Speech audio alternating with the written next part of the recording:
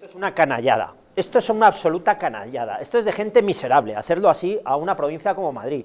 donde los núcleos de población de 100.000 habitantes, resulta que es que en Madrid hay 6 millones y medio de personas, eso para empezar a hablar. Segundo, el índice está bajando al 467, posiblemente ya eh, durante cerca de dos, tres días, con perfecto conocimiento del ministro Salvador Illa y de, y de, Fernando Simón, con lo cual, segunda parte que también se les cae. Y luego, la ocupación de las UCIs también está siendo muchísimo más baja y, de hecho, pues bueno, pues están saliendo muchísimo más eh, enfermos de estas, de estas UCIs. Con lo cual, eh, no es que sea político, es que es, que, es, que es abominable la decisión que han tomado conforme a Madrid. Eh, hablando con biólogos y hablando absolutamente con, personas eh, objetivas, entienden que el confinamiento que se le obliga a Madrid es una medida que va incluso en contra de la, de la biología e inclu incluso en contra de la medicina, porque lo que se estaba haciendo era lo correcto, confinar las zonas que en este momento sí estaban con unos índices superiores, salvaguardando a las zonas eh, más pequeñas